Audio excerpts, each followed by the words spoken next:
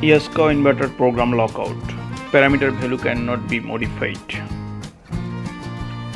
We entering the parameter B101.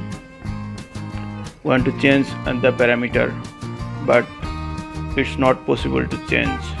So need to check where this program is locked.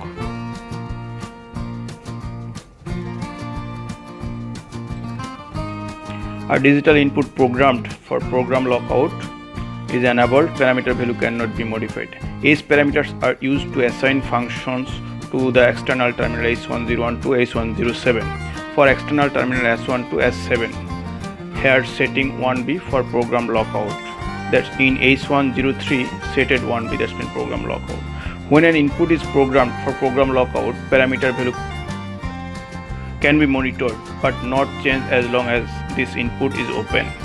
When closed, parameter may be edited and saved. So we set B101 in keypad mode.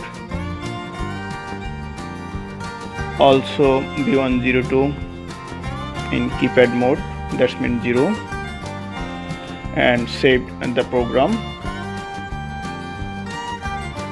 now back to the home display frequency out displaying and press run for running the drive. So this way we can uh, lock unlock uh, the program and can edit it the parameters value thank you for watching